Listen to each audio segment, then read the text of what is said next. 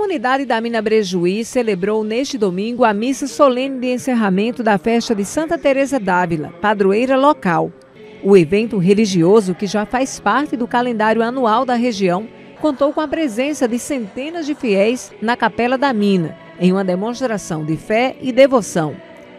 Presidida pelo Padre Cláudio, a missa solene foi marcada por cânticos e reflexões. A programação religiosa que antecedeu a missa contou com novenas e a participação ativa de grupos de oração e movimentos da igreja, todos reunidos para celebrar a padroeira, que tem forte ligação com a história da Mina Brejuí. Avaliação, Ana Paula, das melhores, né? Bem participativa, participativa em tudo, né? A começar da, da cavalgada que foi, foi transferida de uma data para outra e graças a Deus deu tudo certo a terça-feira, que foi o dia de Santa Teresa, antes de começar o trido.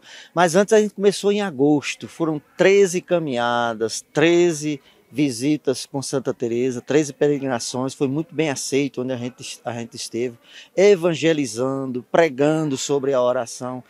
Então, tudo é graça, tudo é bênção, né? E hoje nós estamos finalizando, né? Com um trido maravilhoso, né? Quinta, sexta e sábado, 17, 18, 19 e hoje, né? A gente encerrando com a missa solene aqui na igreja de Santa Teresa. Então, a avaliação foi das melhores, dentro daquilo que o Papa está pedindo, o ano da oração, nos preparando para o ano jubilado de 2005. E assim as igrejas da Diocese de Caicó, evangelizando nesse sentido para que nós possamos ter discípulos e missionários para a Grande Messe. Hoje, né, encerrando essa festa com o Dia Municial Mundial da Missão. Então a gente fica agradecida a Deus pelo êxito dessa festa.